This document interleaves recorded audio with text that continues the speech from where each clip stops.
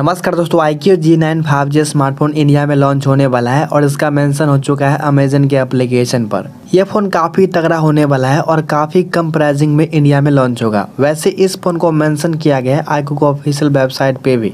तो क्या कुछ स्पेसिफिकेशन होने वाला है और क्या कुछ है इस फ़ोन का फ़र्स्ट लुक और कब ये फ़ोन इंडिया में लॉन्च होगा और किस प्राइस पॉइंट पे लॉन्च होगा, इसी के बारे में अभी हम डिस्कस करेंगे। तो आप वीडियो को लाइक करके चैनल को सब्सक्राइब कीजिए और वीडियो को बिना स्किप किए हुए पूरे इंडिया तक तभी आपको यहाँ पे समझ में आने वाला है। देखिए iQOO Z nine five G smartphone India में लॉन्च होने वाला है और इसका मेंशन हो चुका है अमेजन के एप्लीकेशन पर और आईक्यू का ऑफिशियल वेबसाइट पे भी मेंशन हो चुका है। फ़ोन काफ़ी इंटरेस्टिंग होने वाला है स्पेसिफिकेशन काफ़ी तगड़ा है और प्राइसिंग काफ़ी कम होने वाला है। सबसे पहले आप यहाँ पर देख पाओगे इस फ़ोन का फ़र्स्ट लुक देखने में ये फ़ोन काफ़ी इंटरेस्टिंग है। यहाँ पे जो बैक पैनल है, ये आता है मैट फिनिश के साथ और आगे की तरफ़ से दिया गया है फ्लैट डिस्प्ले जो कि एक एमलेट डिस्प्ले है। इस फ़ोन का जो भी स्पेसिफिकेशन है, वो सारा निकल के आ चुका है, जिसके बारे में अभी हम बात करेंगे। सबसे पहले आप यहाँ पर देख पाओगे इस फ़ोन का फ़र्स्ट लुक ये फ़ोन दो कलर के साथ आने वाला है, दोनों कलर को आप यहाँ पर देख पाओगे अगर हम बात करें कुछ हाईलाइट स्पेसिफिकेशन के बारे में तो इस फ़ोन में होने वाला है सिक्स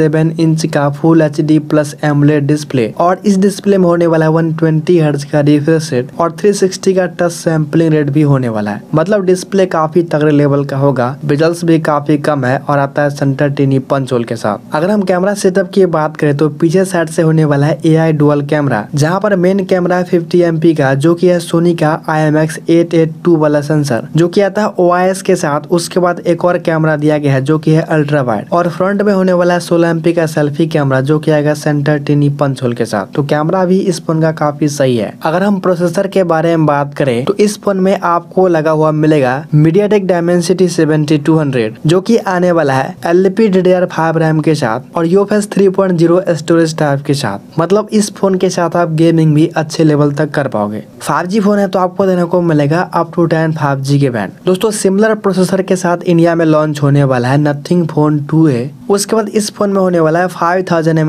का बैटरी जो की अगर forty four watt charge support के साथ। और ये चार्जर बॉक्स में होने वाला है। इन डिस्प्ले फिंगरप्रिंट होने वाला है। हेडफोन जैक भी देने को मिलेगा। डुअल स्टीरियो स्पीकर के साथ ये फ़ोन आने वाला है। एंड्रॉइड फोर्टीन वर्न करता हुआ दिखेगा, जो की बेस्ड होने वाला है लेटेस्ट फन टच ओएस पर। बाकी जो लुक एंड डिज़ाइन है, उसे आप यहाँ पर देख पा रहे फ़ोन काफ़ी तगड़ा है, कहीं से भी कोई भी कमी नहीं है। सारा चीज़ डिपेंड करेगा प्राइसिंग के ऊपर। अगर ये फ़ोन काफ़ी कम प्राइसिंग में लॉन्च हुआ तो काफ़ी बेस्ट हो सकता है बिकॉज़ स्पेसिफिकेशन काफ़ी तगड़ा है। अगर हम बात करें इंडिया लॉन्च डेट और प्राइसिंग के बारे में तो ये फ़ोन इंडिया में लॉन्च होने वाला है और इसका मेंशन हो चुका है अमेजन के एप्लीकेशन पर और आईकू का ऑफिशियल वेबसाइट पे भी मेंशन हो चुका है। लेकिन ये फ़ोन लॉन्च होने वाला है मार्च के महीने में ही। मतलब मार्च के फ़र्स्ट वीक में ही ये फ़ोन लॉन्च होने वाला है। अगर हम बात करें कि ये फ़ोन किस प्राइस पॉइंट पर आएगा तो ये फ़ोन आपको मिलेगा ट्वेंटी थाउज़ेंड के अराउंड में डिस्काउंट करने के बाद। मतलब ये फ़ोन का बॉक्स प्राइसिंग होने वाला है ट्वेंटी थ्री थाउज़ेंड के अप्रोक्स जो की डिस्काउंट वगैरह करने के बाद इसका बेस वेरियंट आपको मिलेगा ट्वेंटी थाउज़ेंड में। और आईकू का ऑफिशियल वेबसाइट पर आपको मिलता है वन थाउज़ेंड का कूपन जिससे आप किसी भी फ़ोन पर अप्लाई कर सकते हो। वहाँ से ये फ़ोन और भी सस्ते का पड़ सकता है।